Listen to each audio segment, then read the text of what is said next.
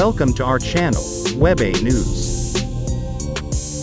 The warplane, called Turkish Fighter, will take its maiden flight in 2025 and will be deployed in 2029, President Erdogan tells a gathering in capital Ankara. Turkey's ambitious plans to expand its defense sector have taken a further step with the nation's president announcing the unveiling of the country's first indigenous combat aircraft in 2023.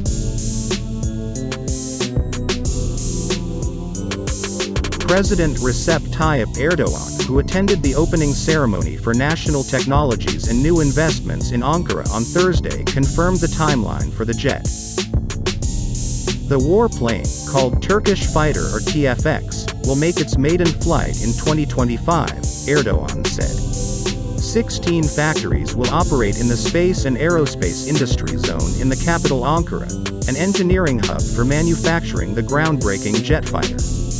It will take its place in the skies in 2029 as the strike force of the Turkish Air Force, after successfully completing its test procedures, said Erdogan.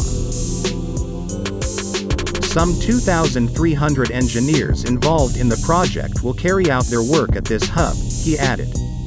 Turkey is among the elite club of the 10 countries of the world that can design and build their own warships and is also among the top three drone producers, Erdogan said